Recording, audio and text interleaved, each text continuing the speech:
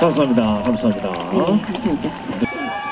또 제가 물 마실 시간도 벌어주시고 감사합니다. 아, 제가 오늘 약속된 곡은 어, 세 곡인데요. 마지막 한 곡 남았어요, 여러분. 네. 또이 곡을 안 하고 가면 조금 섭섭할 수 있잖아요. 모르는, 모르시는 분들도 계시긴 하겠지만, 아, 저의 또 첫 번째 인생곡, 코마공칠 들려드리겠습니다.